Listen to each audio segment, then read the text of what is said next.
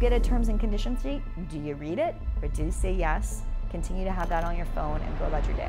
There's just no realistic economic argument to be made that that isn't the case.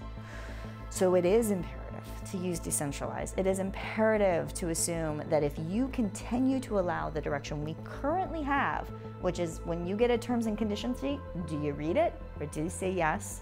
Continue to have that on your phone and go about your day. If you do that, but with AGI that can manipulate you, if you do that and put a robot in your house that now makes your household purchasing decisions, makes you dinner, and heaven forbid takes the place of a partner, a human partner in your life, to be emotionally available to you or physically available to you, this goes to a place I don't know we can get back from. So focus on human connection and be decentralized. How high are the stakes right now?